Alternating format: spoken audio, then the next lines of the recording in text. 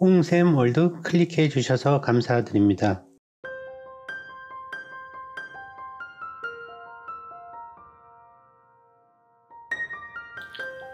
그냥 친구와 진짜 친구의 차이점 좋은 글 그냥 친구는 당신이 우는 걸 본 적이 없습니다. 하지만 진짜 친구는 이미 어깨가 당신의 눈물로 적셔져 있지요. 그냥 친구는 당신 부모님의 성함을 모릅니다. 하지만 진짜 친구는 주스록에 당신 부모님의 전화번호까지 가지고 있지요. 그냥 친구는 당신이 파티를 열 때 와인 한 병을 사가지고 옵니다. 하지만 진짜 친구는 당신이 파티를 열 때 빨리 와서 준비를 도와주고 파티가 끝나면 치우는 거 도와주느라 집에 늦게 들어가지요. 그냥 친구는 당신이 밤늦게 자기가 다 잠들어 있을 때 전화하면 싫어하면서 짜증을 냅니다. 하지만 진짜 친구는 짜증은커녕 전화하는데 왜 이렇게 오래 걸렸냐고 묻지요. 그냥 친구는 당신의 문제들에 대해서 얘기하고자 합니다. 하지만 진짜 친구는 당신의 문제들에 대해서 도와주고자 하지요. 그냥 친구는 당신과 신랑이를 버렸을 때 우정은 끝났다고 생각합니다. 하지만 진짜 친구는 나중에 전화를 해서 먼저 사과를 하지요. 그냥 친구는 항상 당신이 자신 옆에 있어 주길 바랍니다. 하지만 진짜 친구는 자신이 당신 옆에 있어 주기를 바라지요.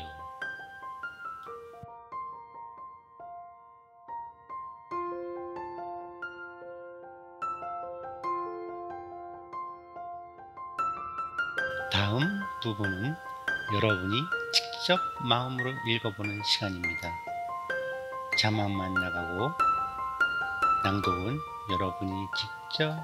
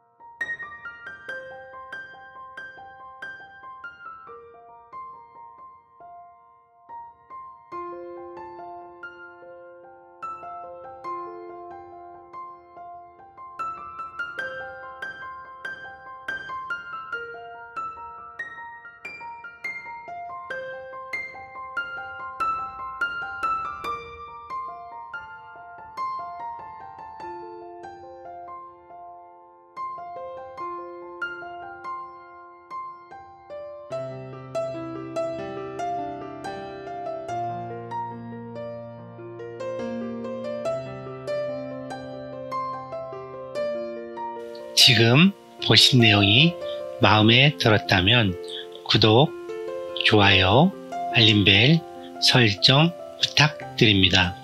유튜브 구독, 좋아요, 알림벨 설정은 모두 무료입니다.